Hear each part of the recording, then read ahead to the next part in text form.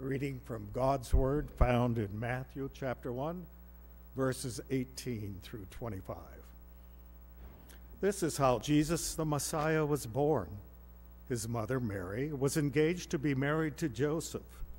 But before the marriage took place, while she was still a virgin, she became pregnant through the power of the Holy Spirit. Joseph, to whom she was engaged, was a righteous man and did not want to disgrace her publicly, so he decided to break the engagement quietly. As he considered this, an angel of the Lord appeared to him in a dream. Joseph, son of David, the angel said, do not be afraid to take Mary as your wife, for the child within her was conceived by the Holy Spirit, and she will have a son. And you are to name him Jesus for he will save his people from their sins. All of this occurred to fulfill the Lord's message through his prophet. Look, the virgin will conceive a child. She will give birth to a son, and they will call him Emmanuel, which means God with us. When Joseph woke up, he did as the angel the Lord commanded and took Mary as his wife but he did not have sexual relations with her until her son was born. And Joseph named him Jesus.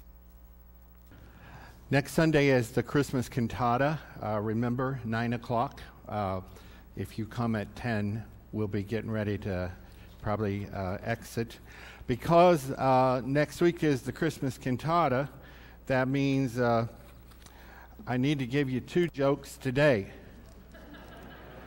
because I won't have an opportunity next Sunday.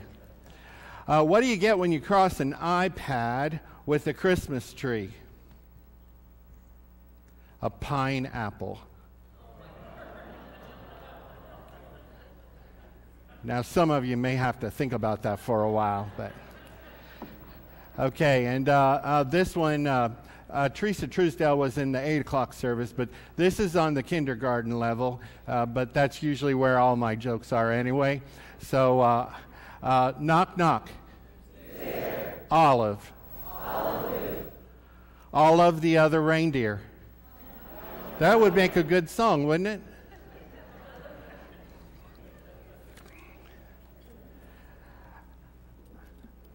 I just really appreciate everything that's already happened. I feel uh, uh, especially blessed. Uh, I've enjoyed the music. We had a baptism. Uh, joyful, joyful, uh, we adore thee. It wasn't the Christmas words, but those were the words uh, of the congregational hymn when Melinda and I got married. And Angels Making Their Round is my favorite choir rendition during the Christmas season. So it's pretty awesome. Would you bow with me in prayer? Lord God, we bow before you and we just thank you for this time of year. We thank you for uh, the fact that we can remember, we can celebrate uh, the love that moved you to send your son Jesus. And Lord Jesus, we thank you that you took on human flesh, you became one of us. Uh, you lived a perfect, sinless life. And when you went to the cross, you didn't go as a victim. You willingly went to bear our sins, all our wrongdoing upon yourself, so that by faith in you, God could be righteous and just in forgiving us. And when you rose victorious from the dead, you made life everlasting possible for us. And you opened the gates of heaven for all to come in through faith in you. Lord, I pray that you would bless these uh, few moments in which we look at your word. Uh, may you uh, strengthen, encourage, and challenge us. And may we be able to take something from this and uh, live it out and share it with others. We pray in Jesus' name. Amen. It was. It's, it's commonly said that uh, Christianity is just a crutch for people. In fact, Sigmund Freud uh, uh, spoke about that kind of thing. Um, and, but the reality is, it takes great strength uh, to be a follower of Jesus Christ. It requires some uh, courage to, uh, to profess, as Emily did this morning, uh, your faith in the Lord and to uh, follow after Him. There are times in which you're going to feel like you're going upstream, that you're uh, moving against uh, the tide, the current around you. And we don't have to go any farther than the Christmas story and see uh, some of the individuals in the account of the coming of Christ to see some courage that's demonstrated. And Joseph is a perfect example of that from the passage in Matthew that Bob read for us. Uh, Joseph models for us the courage that's required to receive the gift of Emmanuel, God with us. We're just going to make three simple observations from this passage uh, of the courage that Joseph demonstrated. And it's same kind of courage that we kind of need in our own lives. And the first one is you and I must have courage uh, to be willing to be ridiculed by the world. We, we kind of need to expect that. Uh, Gabriel, the angel, spoke to Joseph and said, Joseph, son of David, don't be afraid uh, to take Mary as your wife uh, for the child within her is conceived by the Holy Spirit. Now, uh, we, we heard in the passage, Joseph found out that uh, Mary was uh, pregnant. Uh, they were engaged, Jewish engagements uh, are about, they were about a year long. And and he finds out she's pregnant and he doesn't want to disgrace her. That culture was a shame culture. Uh, it, it was unlike our culture in that our culture emphasizes personal rights, personal decisions, all of that. It's more of a culture that, that uh, the collective right and wrong influences everybody else, and everybody kind of needs to line up with it. And if you don't line up with it, then uh, you're, you're ostracized. You're, you're, you're you're treated as if you, you really don't belong or you're kind of a second class citizen. And Joseph uh, knew uh, that there would be people who would never understand uh, what was going on with him and with Mary. And that required courage on his part when he's told, This child is by the Holy Spirit, and uh, it's fine for you to take Mary as your wife because he knew his reputation would never be the same. Uh, he, his reputation would suffer, and uh, he would be kind of forever a second class citizen. Think about it with me for a moment. Um, Joseph and Mary, we know the story from Luke that they, they had to go to Bethlehem because of uh, taxes. We all love taxes, don't we? Um, they somehow weave themselves even into the Christmas story. But um, so they had to go back to uh, his, his family of origins town, the city of David, Bethlehem. And you know from the plays and the kids acting it all out that uh, there's this little character that has, when they come up and they, they ask, could, could we have a night stay here? That innkeeper has to say, no room. There's no room at the inn. Now, to this day, if I had to go to Columbus, Ohio, I would not have to stay in a hotel. You know why? There's family there. And even though we were not originally from Ironton, Ohio, if we traveled to Ironton or Ashland, we wouldn't stay in a hotel or motel. You know why? Because we have church family there. Joseph this was his family of origins town. There would have been people there that would have been related to Joseph. Maybe second, third cousins, an aunt, an uncle, someone like that. Where there's no mention of them going to anybody's house. They go to an inn. Why? because they wouldn't have been accepted in a family's house.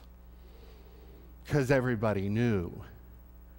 And they presumed that something wrong had happened. And so Joseph knew that, and that was going to be their life. Do you know to this very day, we're, we're blessed in this nation, but we have brothers and sisters in other countries that the moment they're baptized, like Emily was this morning, their family cuts them off. They, they, they have no connection with their family because they profess faith in Christ. Others can lose their jobs. Um, there's, it takes courage to say, hey, I, I'm a follower of Jesus. And we shouldn't be surprised if people uh, uh, don't think highly sometimes of the fact that we express faith and trust in the Lord.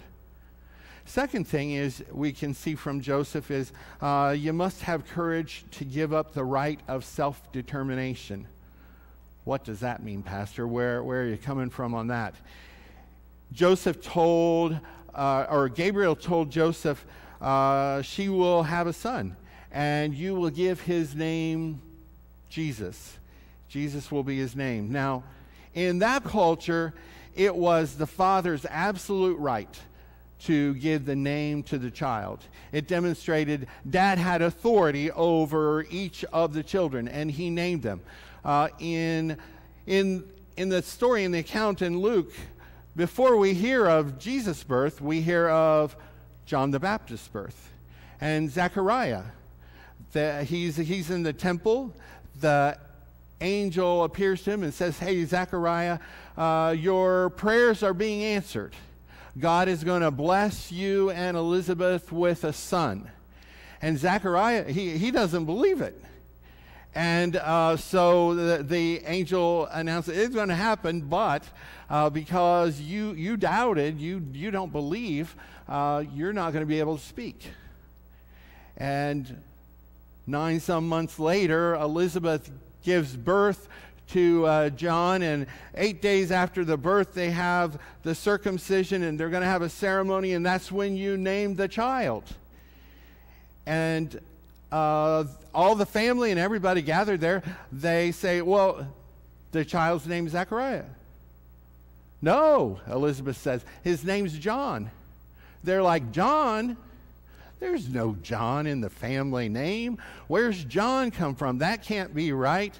And they hand uh, a slate to uh, uh, Zechariah, and he writes, His name is John. And then his tongue is loosed, and he can speak and, and kind of fill him in on the whole story. Why, why all that? Because it was his right to name him. But not so with Joseph this one's name is already determined because it's not really his uh, right to do that. Joseph surrendered his right uh, to the infant God king, the a God man. He, he, uh, he has to acknowledge from the very beginning I'm not going to be ultimately directing this one, he's going to direct me. Now, any of you who are parents know how scary it is when you bring the first one home. You know, I can remember driving from the hospital. I'd never thought about the big deal of driving across the river from Kentucky to Ohio. And I was a nervous wreck. I think I drove the slowest on the way home, every bump, every, you know, and you're just conscious of everything. Can you imagine?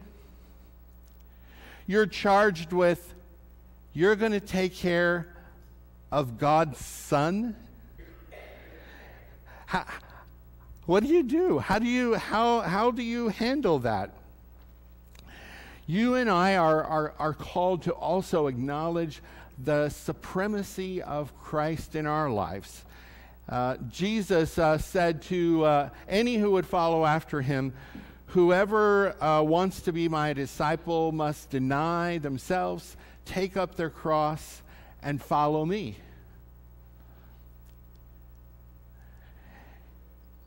And we're, uh, we're called to, uh, to follow and obey him and trust him through the ups and downs of life.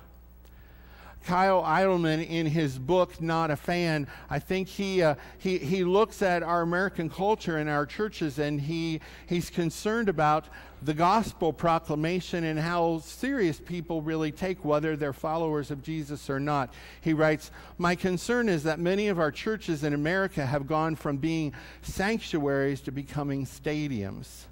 And every week, all the fans come to the stadium where they cheer for Jesus but have no interest in truly following him. The biggest threat to the church today is fans who call themselves Christians but aren't actually interested in following Christ. They want to be close enough to Jesus to get all the benefits, but not so close that requires anything from them. You see, when Jesus invites us to follow after him, yes, he provides heaven for us. Yes, He guarantees that we, ha- we have His presence in our lives each day through the gift of the Holy Spirit. Yes, He, uh, he, he gives us peace and joy and the love of His presence. But when it comes to a time between our, our will and His will, we're to surrender to His will as he also surrendered his will to God the Father in the Garden of Gethsemane and willingly went to the cross. And that means through the ups and downs. There are people who walk away from faith because they, they, they go, God didn't answer my prayer.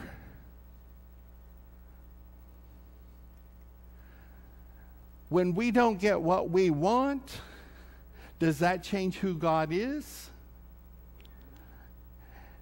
The reality is, we, we need to trust Him and cling to Him through everything. There's a beautiful song by uh, Babbie Mason uh, entitled uh, Trust His Heart. And there are times when you and I go through rough patches in life, hard times, uh, and we're, uh, we're called to just trust Him through all of it. The words go, All things work for our good, though sometimes we don't see. How could they? Struggles that break our hearts in two sometimes blind us to the truth. Our Father knows what's best for us, His ways are not our own. So when our pathway grows dim and you don't see Him, rem- remember you're never alone. He sees your he sees the master plan. He holds our future in his hand. So don't live as those who have no hope all hope is found in him. We see the present clearly, but he sees the first and last. And like a tapestry, he's weaving you and me to someday be like him. God is too wise to make a mistake. He's too good to be unkind. So when you don't understand, when you don't see his plan, when you can't trace his hand, trust his heart. He alone is faithful and true. He alone knows what's best for you. Thirdly, you and I must have the courage to admit that we're sinners. Again, Gabriel said to Joseph, For he will save his people from their sin. Um, there's no place for self righteousness or I can do this on my own or I, I, I am good enough uh, to earn God's favor uh, and be a follower of Jesus. We have to acknowledge our need uh, for Him. There's really no forgiveness without repentance, and there's no salvation without our surrender uh, to the Lord. Jesus, in his uh, great Sermon on the Mount, he begins it by, Blessed are the poor in spirit, for theirs is the kingdom of God. In other words, blessed are we when we acknowledge that spiritually and uh, morally we're, we're beggars and we need God's mercy and his grace uh, to forgive us. And as he does that, uh, then we're, we're truly set free to uh, follow after him. And what hinders us from doing that is pride will get in the way. But when we let pride go and we humble ourselves, then we can uh, really uh, pursue Him. It does take courage uh, to follow Christ, but here's the amazing thing to me, and I don't think I'm ever going to get over this. The God of the Bible, the God that we worship, is not a God who says, Do as I say, but it's do as I do. Because Jesus demonstrates and lives out perfectly what we're called to do. And in the end, it took far more courage uh, than we'll ever demonstrate in what Jesus did by leaving heaven and coming for us. He said, I'm the good shepherd, and the good shepherd lays down his life for the sheep. And that's exactly what he's done uh, for you and me. Would you bow with me in prayer? Lord God, we thank you that you did not leave us in the storm of life, that you did not leave us in our own sin, but you sent your Son, Jesus, to become one of us and to lead us to you. We thank you, uh, Jesus, for giving your life for us and pro- providing the way. And we pray that you would help us to uh, be courageous followers of yours determined to uh, be faithful to the end, where one day we will be able to see you uh, face to face and hear your words. Well done, thou good and faithful servant. Uh, bless each one. Um, I pray and help us to seek and follow after you. We pray in Jesus' name. Amen. Our uh, hymn of invitation is uh, be strong in the Lord. And as we stand and sing this uh, song, uh, maybe there's someone here this morning who um, needs to profess their faith in Jesus Christ. Maybe someone needs to rededicate their life. Maybe God's been working on you, and uh, you know the next step is to join this church family. Uh, come as we stand and sing together.